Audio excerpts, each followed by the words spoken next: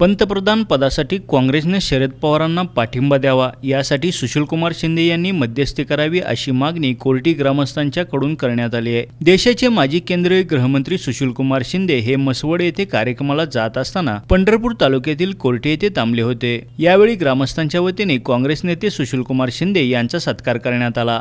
यावेळी ग्रामस्थांनी राष्ट्रवादीचे नेते तथा शेतकऱ्यांचा जाणता राजा शरद पवार हे पंतप्रधान व्हावेत अशी इच्छा सुशीलकुमार शिंदे यांच्याकडे व्यक्त करताना ग्रामस्थ म्हणाले तुम्ही काँग्रेस नेत्या सोनिया गांधी यांच्या जवळचे असून तुम्ही त्यांना पंतप्रधान पदासाठी शरद पवार यांचं नाव सुचवावं.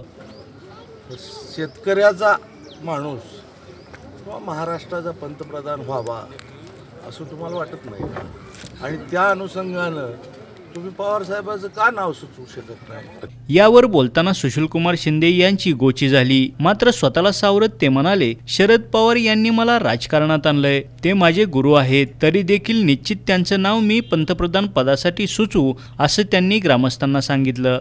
किती वेळेस सांगायचं? नाही, नाही, पवार- नाही. पवार नाही, नाही, साहेबांना तुम्ही- तुम्ही- पवार साहेबांना आमचा पाठिंबा आता तुम्ही जवळ गेलाय. पवार साहेब त्यांच्या अहो, जवळ आमचे गेले. जवळ गेला का मलाच राजकारणात त्यांनी आणलं तर हो ना. तुम्ही तेवढं काम करा असं आमची विनंती. ठीक आहे.